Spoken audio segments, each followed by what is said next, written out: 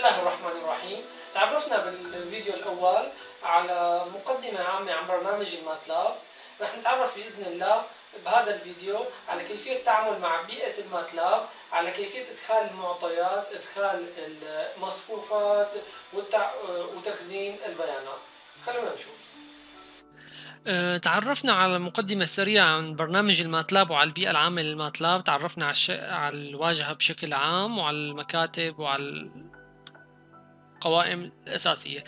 خلونا نتعرف على الأجزاء الرئيسية ونتعلم كيف ممكن ندخل متغيرات ونشوف كيف ممكن يتم حفظها. ورح رح نتعرف بشكل سريع على أهم التعليمات الأساسية اللي يجب على مستخدم على أي مستخدم لبيئة الماتلاب أنه يعرفها. أه، بالبداية مثل ما أننا شايفين أهم بيئتين بالماتلاب بيئة ال command window اللي هي نافذة اللي بيتم فيها كتابة الأوامر وبيئة ال workspace وهي مساحة العمل اللي بيتم فيها تخزين كافة العمليات التي نقوم بها. آه على سبيل المثال لو آه قمت بإدخال الرقم خمسة بنلاحظ راح يتم إسناده لمتغير محجوز. لا يمكن الإسناد له هو أنس اختصار لأنسر. Variable خمسة. تم حفظ variable الفاليو قيمته خمسة. بنلاحظ تم حفظه يتم حفظه كمصفوفة. أحادية البعد سطر واحد عمود واحد أصغر قيمة خمسة وأكبر قيمة خمسة. لو قمت بإدخال خمسة ووضعت خلفها مباشرة فاصلة منقوطة بنلاحظ راح يتم حفظها كمان ولكن ستة صارت ستة. بالطبع أحد الملاحظات الهامة إنه الماتلاب راح يخزن العملية الأخيرة لنفس المتغير. فلما ضغطت ستة خزن ال variable answer ال value ستة اللي هي القيمة الجديدة اللي قمت بإدخالها. لو أدخلت A تساوي الأربعة بنلاحظ تم إسناد القيمة أربعة لمتغير variable A. A الفاليو أربعة.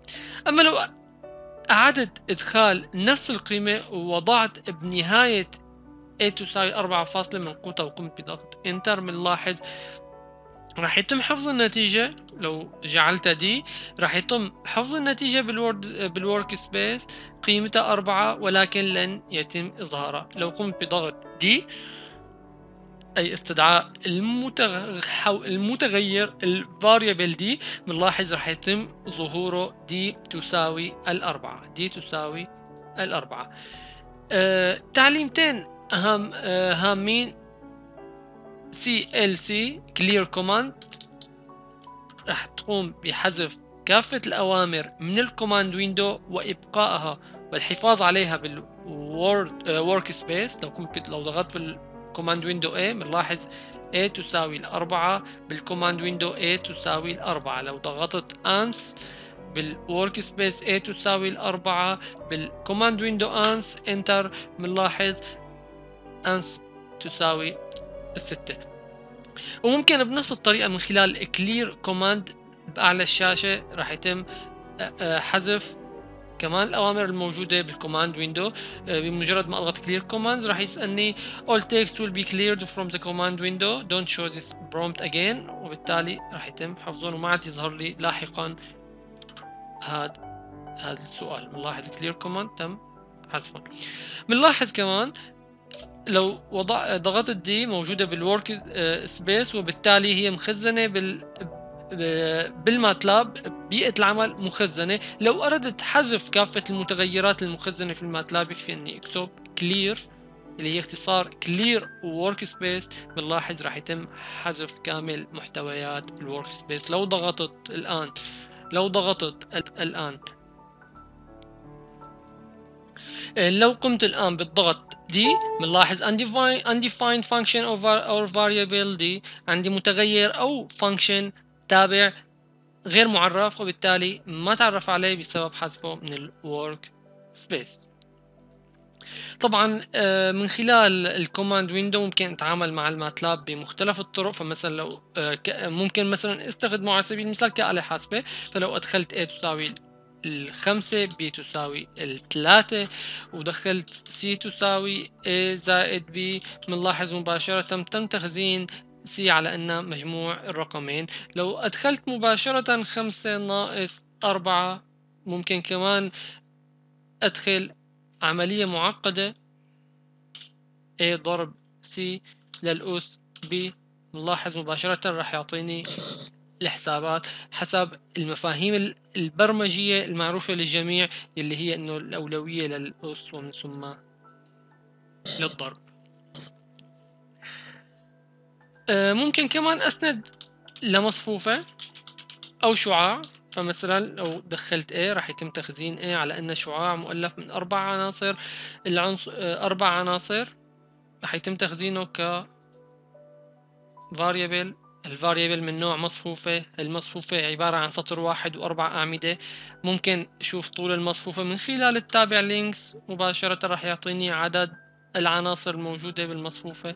واحد اثنين ثلاثة أربعة مباشرة أعطاني أربعة. ممكن أتعامل مع المصفوفات المربعة.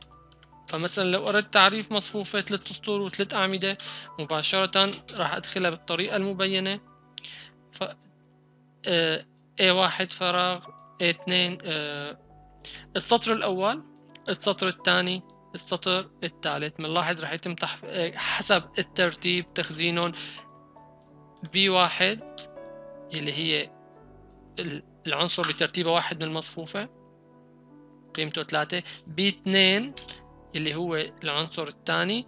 B3 اللي هو العنصر الثالث بنلاحظ لو ضغطت انتر راح يعطيني اثنين قيمة العنصر لترتيبه ثلاثة من المصفوفة.